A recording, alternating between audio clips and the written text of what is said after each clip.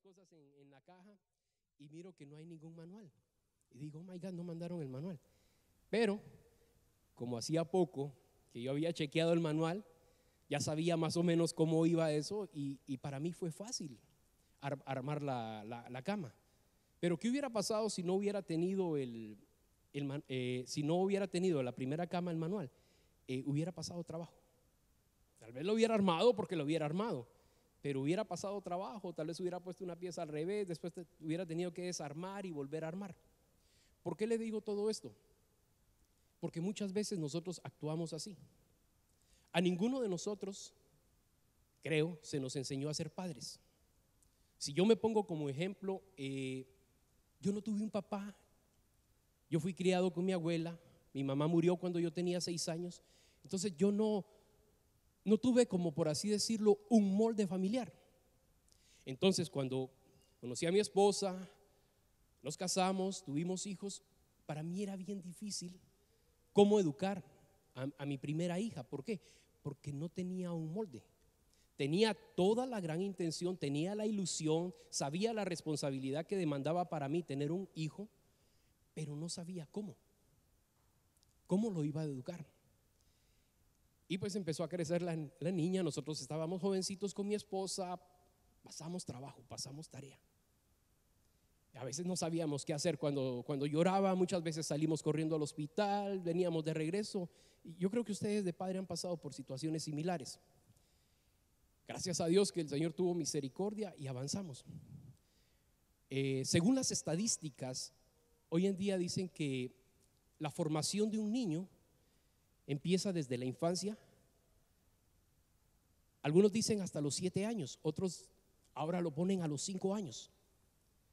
Si en esos cinco años el niño no se formó, no se capacitó, va a tener problemas, va a pasar situaciones difíciles. Dicen que el cerebro hasta los siete años eh, agarra una formación directa, ya cómo piensa, cómo va a actuar, qué personalidad va a tener el niño. Entonces, lastimosamente muchos de nosotros como padres venimos a los pies del Señor tal vez cuando nuestros hijos ya estaban un poquito grandes. Y se nos ha hecho difícil la crianza. Los podemos criar, criar tal vez como fuimos criados en casa. Nuestros padres tal vez tuvieron la mejor intención, pero el apóstol Pablo dice que aunque ellos tuvieron la mejor manera y todo, pues fue vano. ¿Por qué? Porque fuera de Cristo una formación no es formación. ¿Me entiende lo que le quiero decir? Pero gracias a Dios nosotros ahora estamos en Cristo. Y aunque tal vez no hayamos tenido nuestros niños pequeños, no, no, eh, o sea, cuando venimos a Cristo, tal vez nuestros hijos ya estaban grandes, pero déjenme decirle que en Cristo son nuevas todas las cosas. Ahora, ¿por qué le digo esto? Porque nosotros tenemos un manual. Y ese manual es la palabra de Dios, es la Biblia. Amén. Entonces, cuando nosotros vamos a ese manual, que es la Biblia, nosotros podemos entender cuál es la forma o la manera en que Dios quiere que nosotros eduquemos, criemos a nuestros hijos. Amén, está conmigo. Entonces, ¿por qué le digo esto? En Deuteronomios capítulo 6, eh, versos 6 y 7, antes de esto le voy a hacer, eh, le voy a hablar un poquito de esto. Eh, Dios le da una ordenanza al pueblo de Israel y le dice, oye Israel, Jehová tu Dios, uno es. ¿Verdad que sí? Usted, usted lo ha leído. Entonces, cuando nosotros le- leemos el, el verso 6, dice, y estas palabras que yo te mando hoy estarán sobre tu corazón, y las repetirás a tus hijos, y hablarás de ella estando donde? En tu casa, y andando por el camino, y al acostarte, y al levantarte. Perdón, yo entiendo que esta es una orden. Esa orden se la dieron al pueblo de Israel, pero el pueblo de Israel es sombra y figura de nosotros. O sea, el Antiguo Testamento viene siendo sombra y figura de todo lo que está aconteciendo. Nosotros somos el Israel espiritual. Entonces Dios a nosotros nos está dando una orden. Y la orden es de que tenemos que repetirle a nuestros hijos, tenemos que hablarle a nuestros hijos en casa, estando en el camino, que yo lo parafraseo como en cualquier lugar, al acostarse y al levantarse. Entonces, para mí, esto es tenemos que hablarles en todo tiempo. Lastimosamente, el sistema donde nosotros estamos hoy en día es tan agobiante que muchas veces no nos queda tiempo para, para nosotros hablarles y enseñarle a nuestros hijos como debería de ser. Y muchas veces recurrimos en el cuidado de nuestros hijos a recursos que se nos hacen más fácil, pero a la larga son más problemáticos. Hay muchas personas que se van a trabajar y que dejan a sus hijos en casa, pero como no, no, no, no, no los dejan con babysitter, sino que los dejan solos en casa, les dejan el televisor. Y en el televisor los niños pueden ver lo que quieran. Yo no culpo a esos padres. A veces la necesidad es tan fuerte que tienen que buscar un trabajo y no tienen los medios para pagar una babysitter. Y estando con la babysitter, si la babysitter mira novelas, ¿qué aprenden nuestros niños? A ver novelas. Entonces hay una responsabilidad para nosotros como padres cristianos de inculcarles la palabra de Dios a nuestros hijos. Y no solo es una responsabilidad, sino es un mandato divino, porque Dios lo dijo. Amén, está conmigo. Yo lo miro como muy serio, pero ¿por qué le digo todas estas cosas?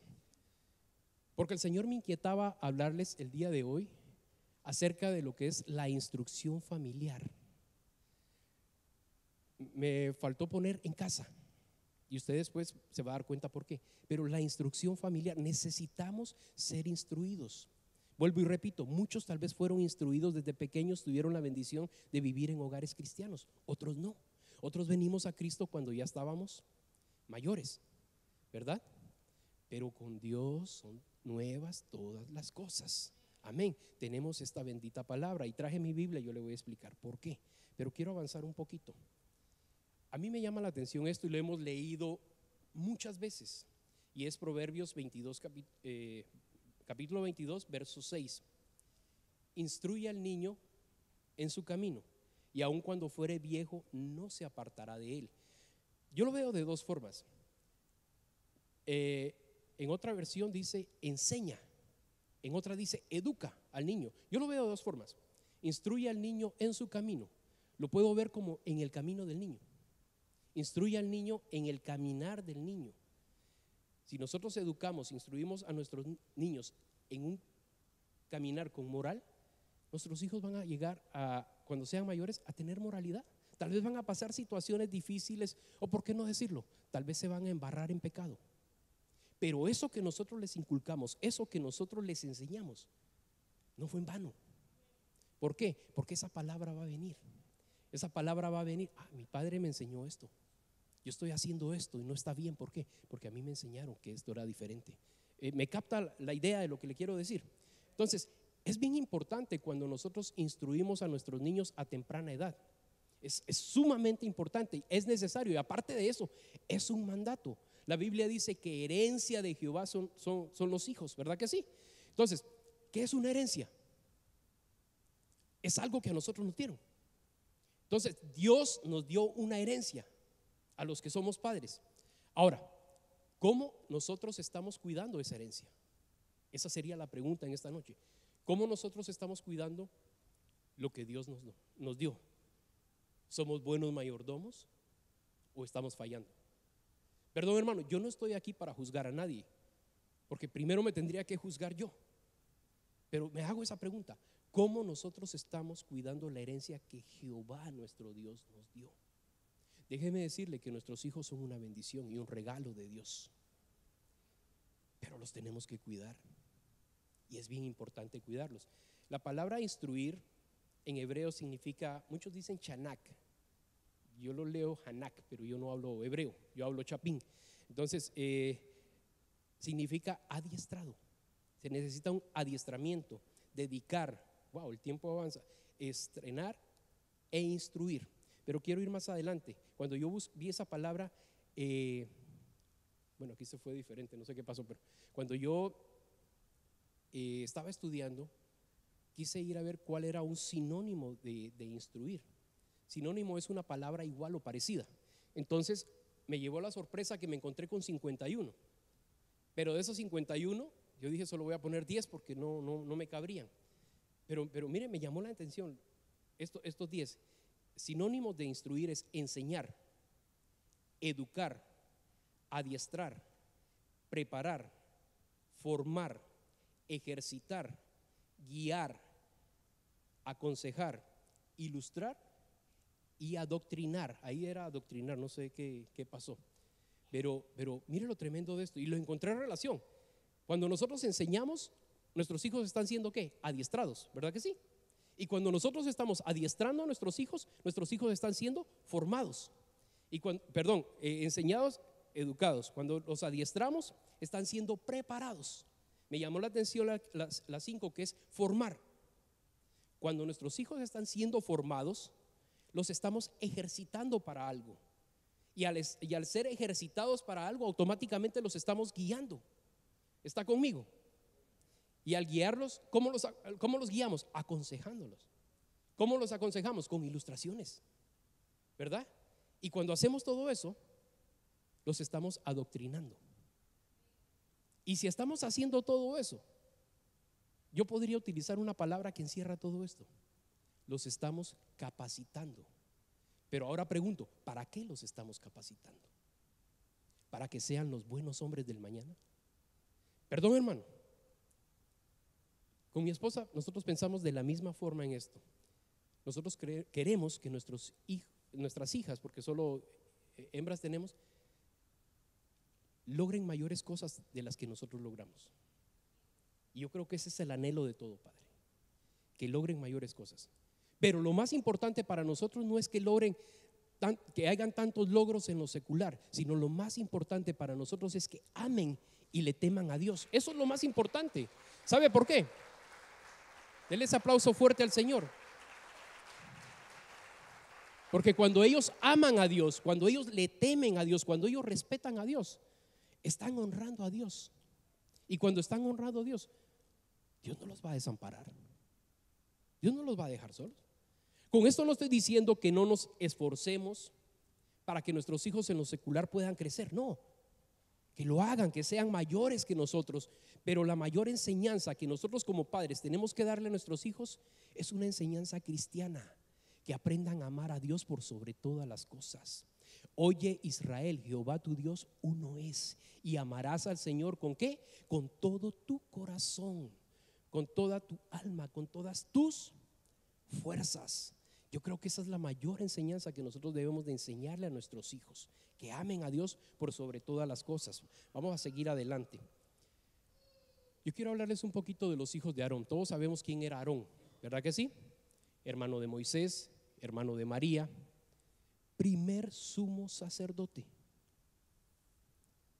Era el vocero de Moisés. ¿Se acuerdan que Moisés le dijo a Dios que era tartamudo y, que, y Dios le dijo, no, no te preocupes, tu hermano el levita era Aarón. Él es elocuente. Tú dile las cosas que, quieres que transmita al pueblo y él lo va a hacer. Y eso era lo que hacía Aarón. Pero a mí me llama la atención esto. Mira lo que dice en Levítico 10, 1 y 2. Eh, Nadad y Abiú, hijos de Aarón, tomaron cada uno su incenciario y pusieron en ellos fuego, sobre el cual pusieron incienso, y ofrecieron delante de Jehová fuego extraño, que él nunca les mandó. Y salió fuego de delante de Jehová y los quemó y murieron delante de Jehová. Si usted lee la historia, ni siquiera le dejaron a Aarón que hiciera luto por sus hijos, porque Moisés se lo dijo, que si, los hermanos de ellos hacían luto y Moisés, también a ellos los cortaban. Imagínense qué situación tan difícil. Levantan fuego extraño. ¿Qué es fuego extraño? Se lo voy a poner así. Hacer lo que se nos da la gana. Entiéndalo de esa forma. No tengo tiempo como para hablar qué era lo que se hacía en el holocausto y, y, las vestimentas que tenían que llevar, pero fuego extraño es venir a la casa de Dios y hacer lo que se nos da la gana. Perdón, Dios no les mandó que hicieran eso. Ellos lo hicieron por su propia cuenta. Cuando nosotros hacemos las cosas por nuestra propia cuenta, hay consecuencias. Lo triste de ellos que la consecuencia de ellos que fue muerte. Qué terrible, ¿verdad? Ahora yo digo, ¿qué pasó con Aarón? Y no estoy aquí para criticarlo porque tendría que decir, ¿y yo? ¿Y nosotros? Pero mire la importancia de educar a nuestros hijos, mire la importancia de enseñarle a nuestros hijos. Vamos adelante. Los hijos de Eli. La semana pasada el hermano habló de conocimiento y entendimiento, ¿verdad? Y fue una bendición. A mí me llama la atención que los hijos de Elí, Elí, ¿quién era Elí? Elí era otro sumo sacerdote. Y aparte de ser sumo sacerdote, también era qué? Juez de Israel. Pero mire lo que dice la palabra. Los hijos de Elí eran hombres impíos. Wow. ¿Cómo así? Los hijos de un sumo sacerdote eran hombres impíos y no tenían conocimiento de Jehová. Ahí está todo. Ahí está todo. Elí era sumo sacerdote y yo no soy quien para juzgarlo. Nosotros somos reyes y sacerdotes. Pero Elí pudo ser un gran sumo sacerdote, juez de Israel, hombre notable, pero no instruyó a sus hijos, no enseñó a sus hijos, no educó a sus hijos. Y mira las consecuencias. Era pues muy grande delante de Jehová el pecado de los jóvenes, porque los hombres menospreciaban las ofrendas de Jehová. No tenemos mucho tiempo para hablar de eso, pero eh, cuando llevaban las ofrendas, eh, las ofrendas tenían que ser cocidas con la grosura, ¿verdad que sí? Y ellos tenían un garfio que, tenía como tres, eh, ahí dice que tenía como tres puntas, por así decirlo. Eh, y lo que sacaban era para el sacerdote. Y estaba bien, eso era lo que la ley había establecido. Pero vienen ellos y no, mandaban al criado y le decía, no, no la quemes, dársela cruda. Y, y la gente decía, no, no, quema la grosura y, agarra lo tuyo. No, si no se la das así, te la vamos a quitar a la fuerza. Eso era lo que hacían. También se acostaban con las mujeres. Imagínense lo que hacían. Y eran sacerdotes. ¿Dónde se acostaban con las mujeres? Las que llegaban a velar. ¿A dónde? Al templo. Mire lo delicado de esto. Si usted lee esta historia, a mí lo que me llama la atención es esto. Él, él, eh, me fue la palabra, no estorbó el pecado de sus hijos. Él como sacerdote no estorbó el pecado de sus hijos. Y no solo como sacerdote, como padre no instruyó a sus hijos. Ahora, más adelante dice, se oye que dicen cosas de ustedes. No sé si lo han leído. Dicen que ustedes han hecho esto, dicen que han hecho aquello. No hagan eso porque lo están haciendo no contra los hombres, contra Jehová. Perdón, hermanos. Como padres, nosotros tenemos que tomar autoridad sobre nuestros hijos. Lo blanco es blanco y lo negro es negro. Amén. Denle un aplauso fuerte al Señor, aleluya.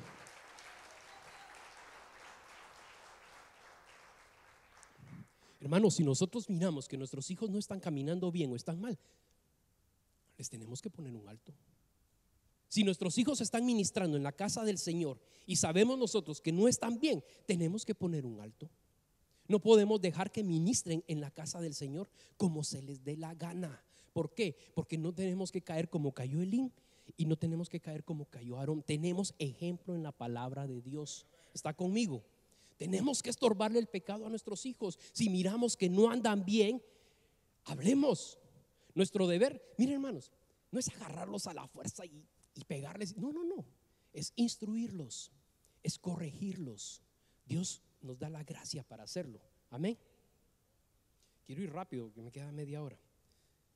La corrección. Esto me llama la atención. Cuando nosotros miramos en el libro de Proverbios, prácticamente en Proverbios está, es como un manual de instrucción para padres, para hijos. Amén.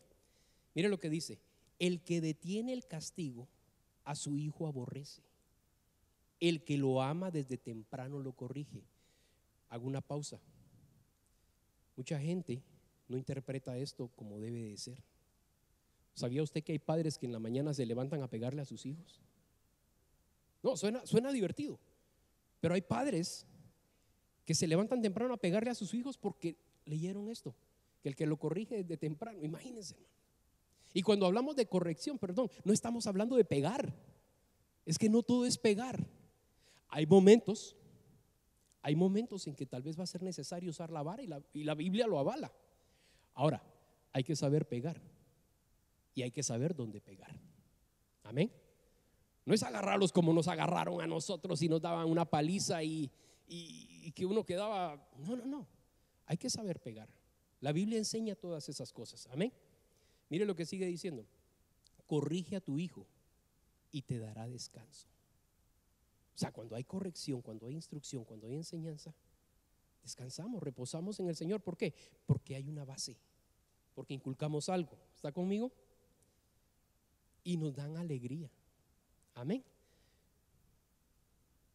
No rehuses corregir al muchacho. Aquí habla, yo lo interpreto como adolescentes. No rehuses corregir al muchacho. Porque si lo castigas con vara no morirá. I'm sorry, jovencitos, pero no lo digo yo. Lo dice la palabra. Miren lo que dice. Porque si lo castigas con vara no morirá. Hermanos, es triste saber que los hijos de Eli murieron un día. ¿Cómo se llamaban? Amén. Murieron en un día. Es triste. Es triste saber que los hijos de Aarón fueron consumidos en un momento. ¿Pero por qué? Porque no hubo vara. Ahora, no me pregunte dónde están. ¿Para qué nos metemos a ese terreno? Pero no hubo vara. Mire lo que sigue diciendo el 14. Eh, voy a leer todo. No rehuses corregir al muchacho, porque si lo castigas con vara, no morirá. El 14. Lo castigarás con vara y librarás su alma del Seol. Bueno, yo podría dejar el mensaje aquí. Yo creo que si lo agarramos, lo agarramos.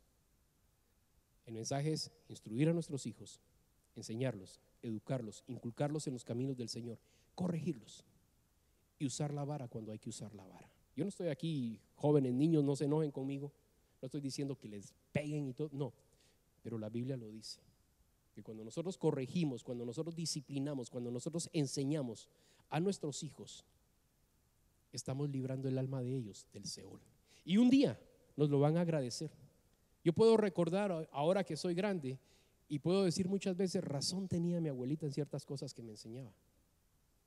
No sé si usted le ha pasado, razón tenía mi mamá, razón tenía mi papá. En ese momentito nosotros no lo entendíamos, nos enojábamos. Miren hermanos, yo recibí unas palizas, pero, pero, pero no así con vara, como dice aquí, yo recibí unas palizas. O sea, yo fui criado con mi abuelita, pero mi abuelita sabía pegar. Y, tenía un chicote y todavía le amarraban las puntitas y, ah, no, pero unas palizas. Y yo que tenía la costumbre casi siempre de jugar en pantaloneta, no, me dejaba marcado. ella sabía pegar. Entonces, yo fui, yo fui educado así. Y, déjenme decirle una cosa. Muchas veces, cuando yo recibía azotes de parte de ella, a mí me trastocó el alma. Hubieron veces de que yo lo que necesitaba era que se me acercaran y mi hijo, ¿qué pasó? ¿Por qué hiciste eso? ¿O qué te pasó? Pero no habían preguntas, sino habían golpes. Y a veces maltratos. A veces las palabras hieren más que, que, que, los golpes. Y a veces uno, como que uno necesita una palabra. No solo de nuestros hijos, perdón, nuestros hijos hicieron una travesura, venir y agarrar el cincho. No, no, no. Es de preguntarles por qué lo hicieron. Es de enseñarles por qué lo hicieron. Ahora, nosotros como padres somos llamados a dar ejemplo a nuestros hijos. Pregunto, y me pregunto yo, ¿qué ejemplo le estamos dando a nuestros hijos? ¿Qué ejemplo le estamos dando nosotros a nuestros hijos?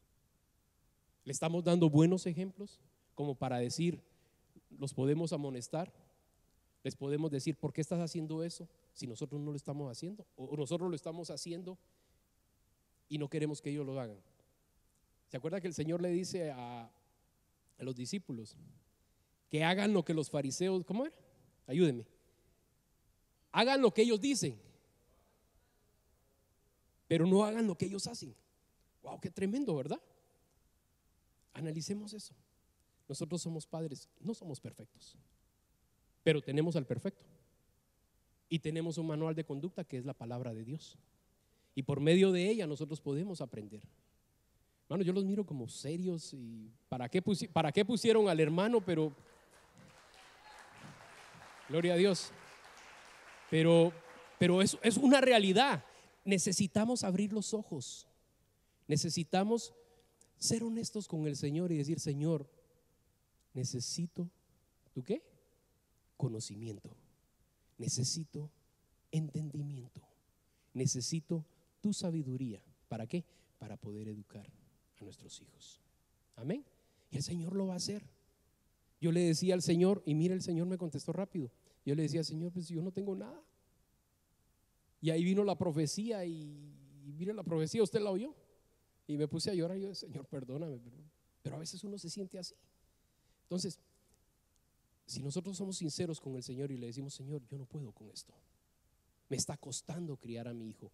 Tal vez eh, me equivoqué, cometí muchos errores, pero ayúdame, ayúdame. Si nosotros doblamos nuestras rodillas, clamamos, gemimos, oramos por nuestros hijos, ¿ustedes creen que Dios nos va a dejar desamparados? ¿Ustedes creen que Dios nos va a avergonzar a nosotros? No, pero tenemos que ser honestos con Dios. Amén. Quiero seguir adelante. Tengo 23 minutos y voy bien. El Señor me dio una palabra cuando estaba preparando esto. Y es un poquito fuerte, pero el Señor habló de autoridad. Y voy a tomar esa autoridad. ¿Por qué le pongo este, este verso? Dice, y entró Jesús en el templo de quién? De Dios. Y echó fuera a todos los que vendían y compraban en el templo. Y volcó, eh, perdón, aquí ya volcó las mesas de los cambistas y las sillas de los que vendían palomas. Y les dijo, escrito está, mi casa, casa de oración será llamada, mas vosotros la habéis hecho cueva de ladrones. Voy a leer el otro de una vez. Y dijo a los que vendían palomas, quitad de aquí esto, y no hagáis de la casa de mi padre casa de, de mercado. Entonces se acordaron sus discípulos que está escrito, el celo de tu casa me consume. ¿Por qué le digo esto? Y batallé con esto, hermano, pero, pero el Señor me dio, me dio esta palabra. Yo creo que nosotros, en la instrucción que le damos a nuestros hijos, le damos una instrucción en casa, ¿verdad que sí? Nuestros hijos se levantan temprano, se tienen que cepillar los dientes, desayunan, Muchas veces los enseñamos a que digan buenos días, buenas tardes, eh, buenas noches, que sean educados. Si llega alguna persona adulta, eh, que ellos callen. No sé cómo, cómo lo enseñaron a, ustedes, pero a mí sí. Eh, si a la hora de la comida no se debe hablar, cosa que gracias a Dios yo no lo pongo por práctica. Perdón con, con lo que voy a decir, se me hace ridículo que nos sentemos a la casa, a la mesa a comer y que no nos dirijamos una sola palabra. Yo creo que la mesa, en el momento que estamos comiendo, es cuando nosotros podemos aprovechar para tener una intimidad en familia. Lo creo así. Eso soy yo. Eh, recuerdo que llegaba el jefe de la casa o el papá de la casa, lo vi, no, no lo tuve, pero lo vi. Y se sentaba en la, en la cabecera, por así decirlo, de la mesa, y cuando él se sentaba todo el mundo callado. Y el mejor plato era para él. ¿Sí o no? Yo, yo, vi todas esas cosas y yo siempre dije, ¿por qué? Recuerdo que tenía unos primos que cuando ellos se levantaban y estábamos comiendo una mesa como de 14 personas, empezaban, se levantaba uno, muchas gracias papá, muchas gracias mamá, muchas gracias tío, muchas gracias esto y muchas gracias, y, terminaba uno y empezaba el otro, muchas gracias, y yo me quedaba así como que, y, lo pensaba, ¿será que me levanto ya? Y entonces, entonces venía yo más práctico, muchas gracias a todos, me levantaba y me iba. Pero, pero, o sea, cada uno fue criado en diferente forma, pero algunos no podían hablar. Y yo entendí de que cuando estamos nosotros en la mesa, lastimosamente ahora no lo podemos hacer con, mis hijas como, lo, hacían cuando, lo hacíamos cuando eran pequeñas, pero yo creo que ese momento es un momento de intimidad, es un momento de calidad donde uno puede hablar. Y a veces surgen preguntas en, en ese momento de intimidad. ¿Y por qué no aprovechar ese momento como para lanzar la palabra? o alguna instrucción, alguna enseñanza. Pero bueno, cada quien fue educado a su manera. Usted sabrá cómo lo educaron a usted. Usted sabrá cómo educa a sus hijos. Pero de algo sí estoy seguro. Usted es cuidadoso con sus hijos en su casa. No se suban a los sillones. No hagan esto. No hagan aquello. Y, y hay un montón de cosas que yo creo que todos lo hemos vivido. ¿Por qué le digo esto? Pregunto, la casa del Señor es menor que la casa de nosotros. ¿Usted cree que la casa del Señor es menor? Amén, dice la hermana. Como que no, no la... No, no. La casa del Señor es mayor que la casa de nosotros. Amén. Ahora, yo sé que ella no, lo entendió, porque yo, yo, yo, la, yo, la, conozco a ella. ¿Por qué, le, ¿Por qué le digo esto? Tengo 18 minutos. Si nosotros somos cuidadosos en nuestra casa, ¿cómo tienen que eh, eh, ser educados nuestros hijos? ¿Por qué nosotros no somos cuidadosos en la casa del Señor? ¿Por qué nosotros no le enseñamos a nuestros hijos a que cuando venimos a la casa del Señor tenemos que guardar respeto? Perdón, hermanos, el Señor no habita en un templo hecho de manos. Amén. Yo sé, Él habita en mi corazón, habita en su corazón, está donde usted. Amén.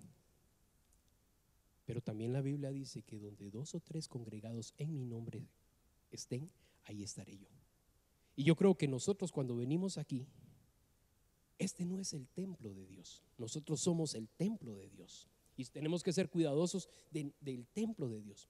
Pero cuando venimos aquí y nos congregamos en su nombre, este lugar se constituye casa de Dios. ¿Está conmigo o no está conmigo? Él dice, escrito está, mi casa, casa de oración será llamada, mas vosotros la habéis hecho cueva de ladrones. Ellos, vosotros la habéis hecho cueva de mercado. Ahora pregunto, ¿nosotros qué estamos haciendo en la casa del Señor? ¿Cómo estamos haciendo en la casa del Señor? ¿Cómo la estamos llamando o cómo queremos nosotros que se identifique la casa del Señor? Piense, dice casa de oración. ¿Cuál sería un sinónimo de oración? Ayúdeme. Un sinónimo de oración.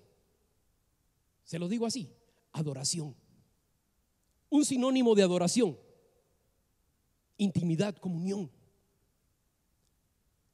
No basta solo con traer a nuestros hijos a la casa de Dios.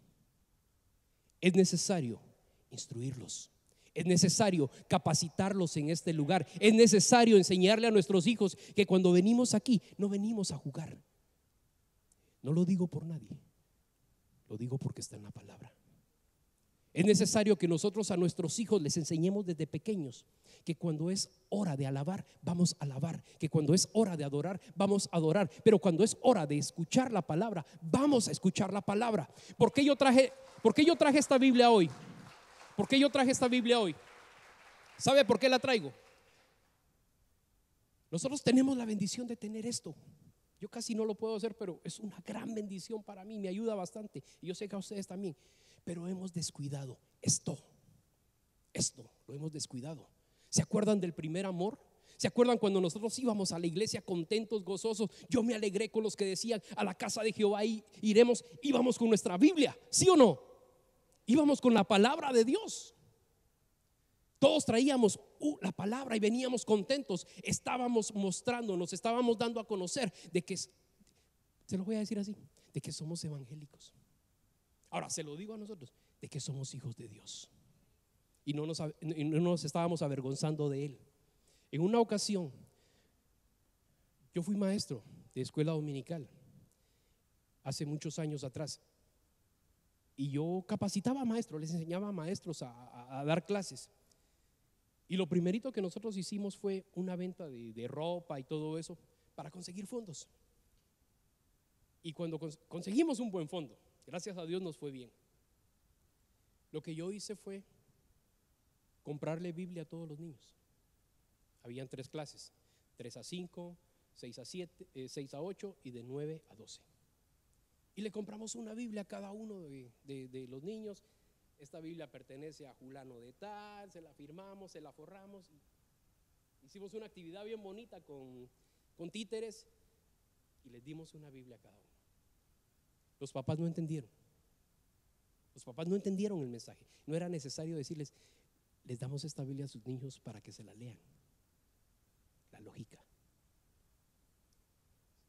Yo no sé cuántos de ustedes enseñaron a sus hijos cuando estaban pequeños. Venden en las librerías cristianas mi primera Biblia. Son figuritas, hermano.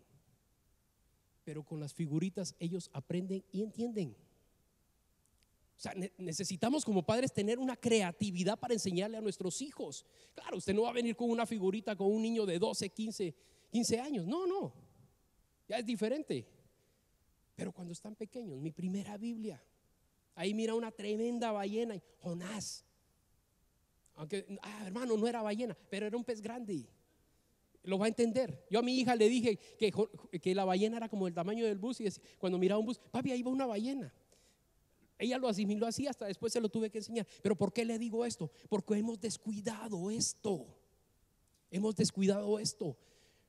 Es triste que nosotros no mandemos a nuestros hijos a la iglesia con una Biblia, pero que sí la mandemos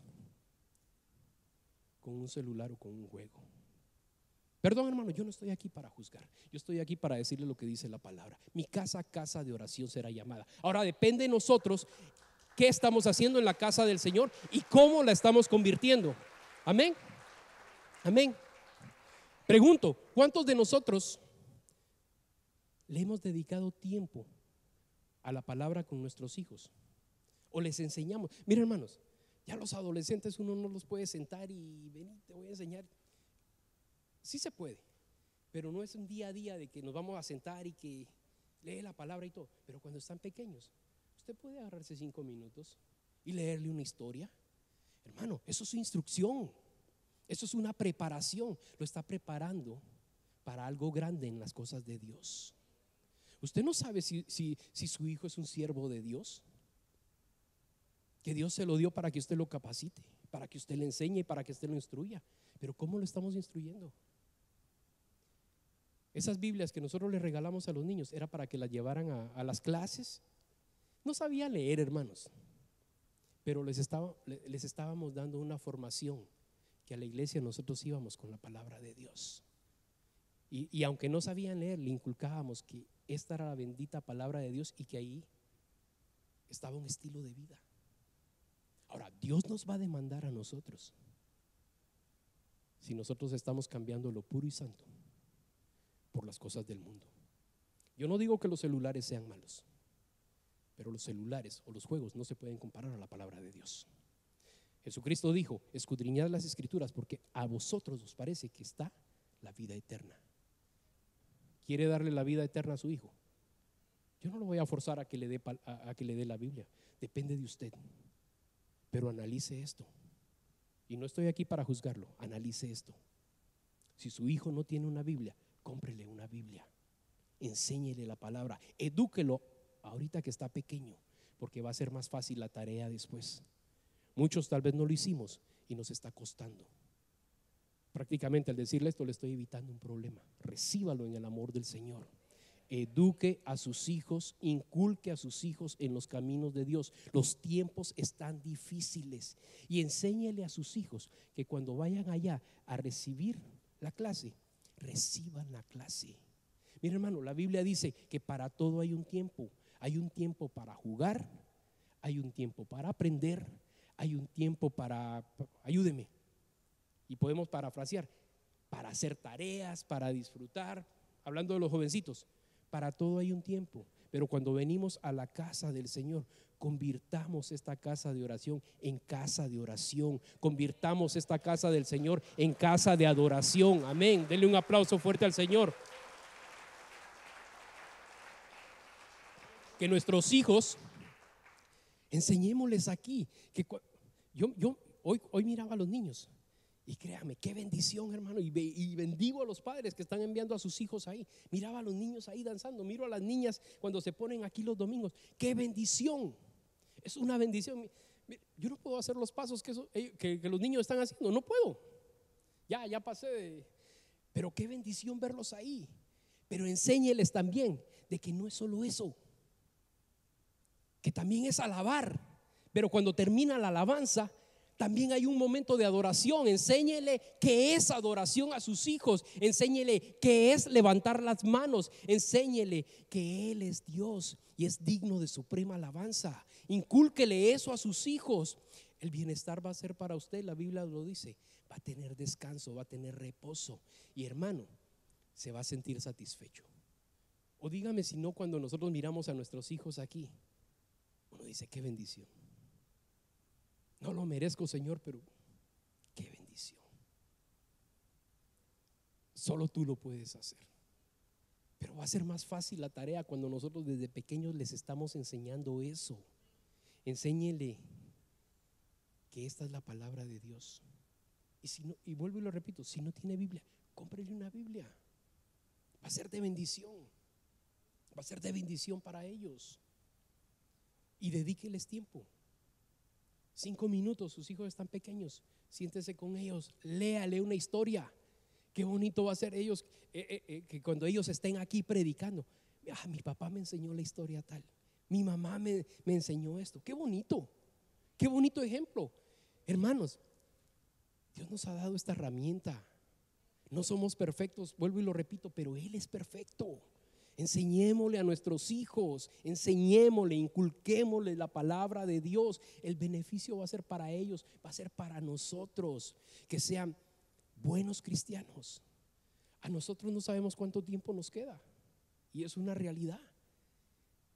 Puede que ellos sigan, pero si nosotros no los formamos bien, si nosotros no los formamos, el antónimo de formar, ¿cuál sería? De formar. Si nosotros no formamos a nuestros hijos como cristianos, el mundo los va a deformar. Ahora, depende de nosotros. Ahora otra cosa, si nosotros no los formamos ahora que están pequeños, un día van a llegar a la universidad. Y déjenme decirles que en la universidad lo que más les enseñan es el ateísmo. Y eso es delicado. Y si nuestros hijos no están bien cimentados en la roca, van a tambalear.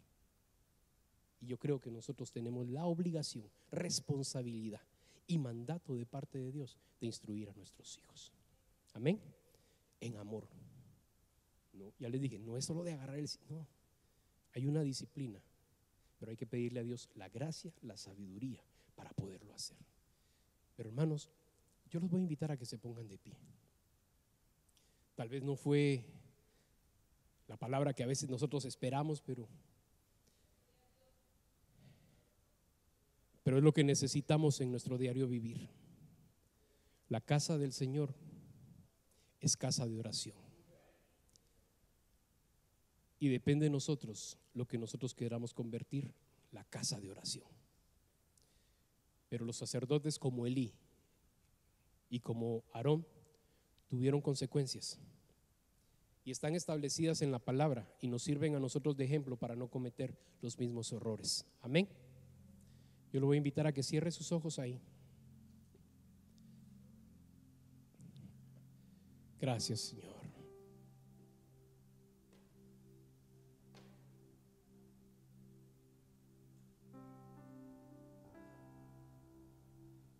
Señor, te damos gracias en esta noche por tu santa y bendita palabra, Padre.